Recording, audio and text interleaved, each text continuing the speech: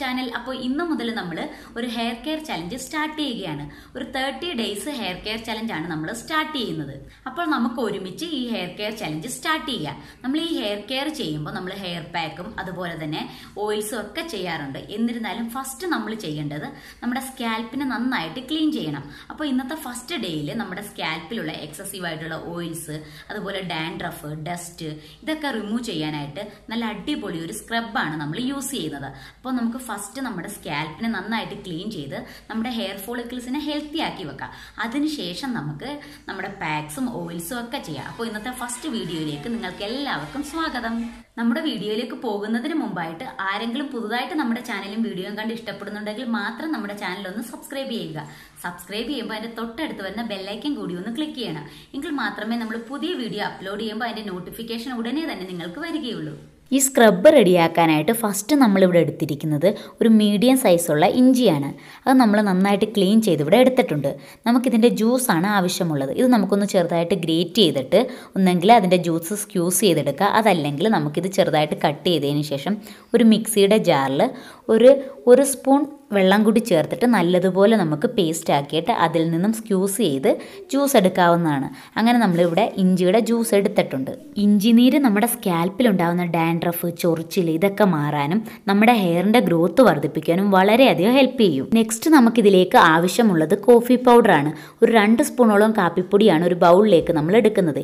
ഈ കാപ്പിപ്പൊടി നല്ലൊരു സ്ക്രബിങ് ഏജന്റായിട്ട് വർക്ക് ചെയ്ത് നമ്മുടെ ഡാമേജ് ആയിട്ടുള്ള എയർ ഫോളിക്കിൾസിനെയൊക്കെ ഓപ്പൺ ചെയ്ത് നമുക്ക് പുതിയ ഹെയർ ഗ്രോ ചെയ്യാനും നമ്മുടെ സ്കാൽപ്പിനെ ക്ലീൻ ചെയ്യാനും സഹായിക്കും. ഈ കാപ്പിപ്പൊടിയിലേക്ക് നമുക്ക് ഒരു രണ്ട് മൂന്ന് സ്പൂണുള്ള ഇഞ്ചി നീര് ഒഴിച്ചു കൊടുത്ത് നല്ലതുപോലെ മിക്സ് ചെയ്തെടുക്കാം. അതിനുശേഷം നമ്മൾ ഇതിലേക്ക് ആഡ് ചെയ്ത് കൊടുക്കുന്നത് നമ്മുടെ ചെറുപയറിന്റെ പൊടിയാണ്. അപ്പോൾ ചെറുപയർ നമ്മൾ വീട്ടിൽ തന്നെ പൊടിച്ചതാണ് നമ്മൾ ഇതിലേക്ക് ചേർത്ത് കൊടുക്കുന്നത്. ഇതിന്റെ വീഡിയോ മുമ്പ് നമ്മൾ ചെയ്തിട്ടുണ്ട്. അത് കണ്ടിട്ടില്ലെങ്കിൽ നിങ്ങളൊന്ന് കണ്ടു നോക്കുക. അതിന്റെ ലിങ്ക് ഞാൻ മുകളിൽ കൊടുക്കാം. ഈ ചെറുപയർ പൊടി കൂടി ആഡ് ചെയ്തതിന് ശേഷം ഇതെല്ലാം കൂടി നമുക്ക് നല്ലതുപോലെ ഒന്ന് മിക്സ് ചെയ്ത് കൊടുക്കുക ഇത് മിക്സ് ചെയ്ത് വരുമ്പോൾ അത്യാവശ്യം നല്ല തിക്കായിട്ടുള്ള ഒരു സ്ക്രബിന്റെ ആ ഒരു ഫോമിൽ തന്നെ നമുക്ക് കിട്ടുന്നതായിരിക്കും. നല്ല നാച്ചുറൽ ആയിട്ടുള്ള നല്ല എഫക്റ്റീവ് ആയിട്ടുള്ള റിസൾട്ട് തരുന്ന നമ്മുടെ സ്ക്രബ് ഇവിടെ റെഡി ആയിട്ടുണ്ട്.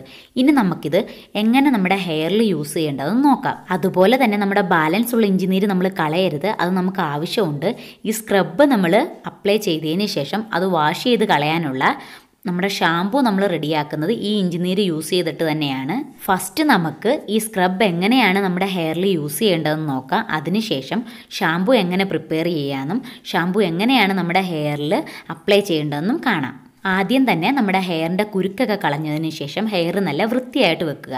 അതിനുശേഷം നമ്മുടെ ഹെയർ രണ്ട് സൈഡിലായിട്ട് ഇട്ടിട്ട് നമുക്ക് സ്ക്രബ് എടുത്തിട്ട് നമ്മുടെ സ്കാൽപ്പിലായിട്ട് അപ്ലൈ ചെയ്ത് കൊടുക്കുക. നമ്മുടെ ഹെയർ കുറേച്ചയായിട്ട് ഡിവൈഡ് ചെയ്തിട്ട് സ്ക്രബ് എടുത്ത് നമ്മുടെ സ്കാൽപ്പിലായിട്ട് നമ്മുടെ ഫിംഗർ ടിപ്സ് യൂസ് ചെയ്ത് മസാജ് ചെയ്ത് കൊടുക്കുക. നന്നായിട്ട് നമ്മൾ അത്യാവശ്യം നല്ല രീതിയിൽ നമ്മളൊന്ന് മസാജ് ചെയ്ത് കൊടുക്കുക. ആ സ്ക്രബ് യൂസ് ചെയ്ത്.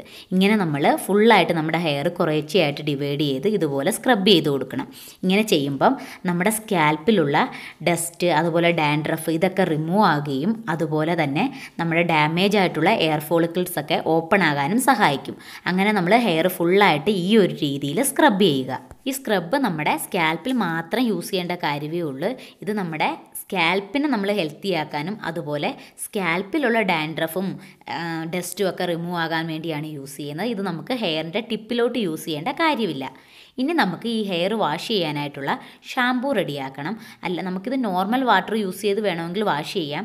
പക്ഷേ അങ്ങനെ വാഷ് ചെയ്യുമ്പം ചിലപ്പോൾ ഈ കാപ്പിപ്പൊടി ഡ്രൈ ആയിട്ടിരിക്കുന്നതുകൊണ്ട് അത് റിമൂവ് ആകത്തില്ല. അതുകൊണ്ടാണ് നമ്മൾ ഒരു ഷാമ്പൂ യൂസ് ചെയ്യുന്നത്. നമ്മൾ ഈ റെഡിയാക്കുന്ന ഷാമ്പൂ നമ്മുടെ ഹെയറിനെ നല്ല സോഫ്റ്റ് ആൻഡ് സ്മൂത്ത് ആക്കാനും അതുപോലെ നമ്മുടെ ഹെയറിന്റെ ഗ്രോത്ത് നന്നായിട്ട് വർദ്ധിപ്പിക്കുവാനും വളരെയധികം സഹായിക്കും.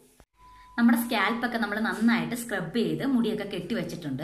ഇനി ഇത് നമുക്കൊരു മാക്സിമം പതിനഞ്ച് മിനിറ്റ് വരെ മാത്രം വെച്ചാൽ മതി. അതിൽ കൂടുതലൊന്നും നമ്മൾ വെക്കേണ്ട കാര്യമില്ല.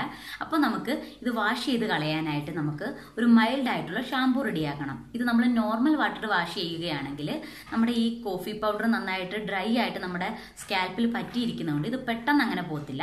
അപ്പോൾ നമുക്ക് ഒരു മൈൽഡ് ആയിട്ടുള്ള ഷാമ്പൂ യൂസ് ചെയ്ത് ഇത് വാഷ് ഔട്ട് ചെയ്ത് കളയണം. അപ്പോൾ നമുക്ക് അതിനു വേണ്ടിയുള്ള ഈ ഷാമ്പൂ എങ്ങനെ റെഡിയാക്കാമെന്ന് കണ്ടു നോക്കാം. ഈ ഷാമ്പൂ റെഡിയാക്കാനായിട്ട് ഫസ്റ്റ് നമ്മളിവിടെ ഒരു സ്പൂൺ ചെറുപയർ പൊടിയാണ് എടുക്കുന്നത്.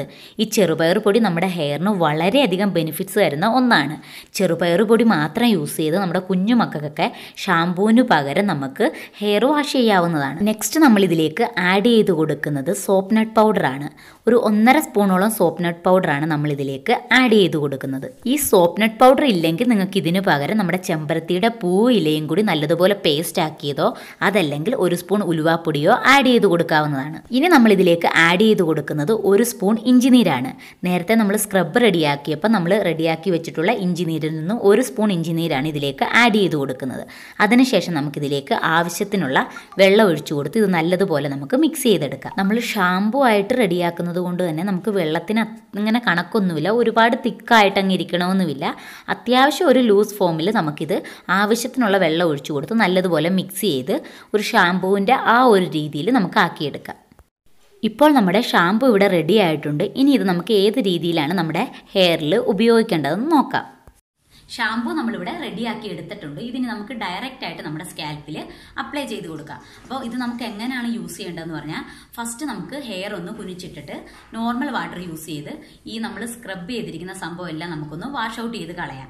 അതിനുശേഷം നമുക്ക് ഇതിൽ നിന്നും കുറേശ്ശെ ഷാമ്പു എടുത്തിട്ട് നമ്മുടെ സ്കാൽപ്പിലേക്ക് നല്ലതുപോലെ അപ്ലൈ ചെയ്ത് കൊടുത്തിട്ട് നന്നായിട്ട് സ്ക്രബ് ചെയ്ത് കൊടുക്കുക.